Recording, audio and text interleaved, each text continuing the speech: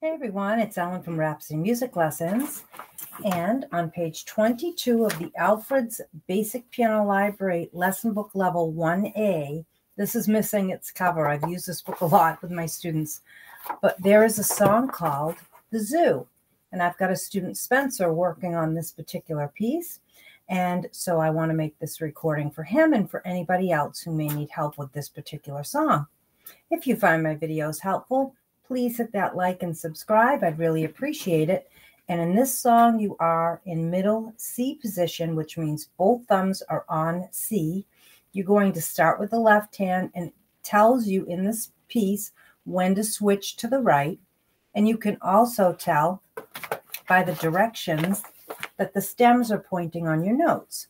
So when your notes are pointing down to the ground like this, left hand. And when they're pointing up to the sky like this, you want to use your right. That's for the purposes of this book. All right, so here we go with the zoo. Now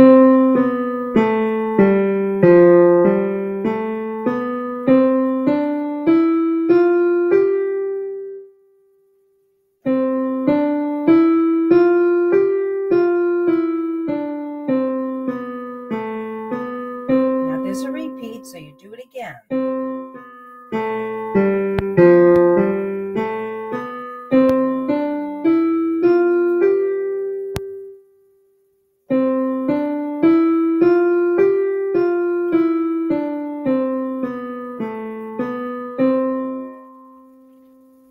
And that's it. If you notice at the end of each line, I held that note for four beats because that is what they call a whole note.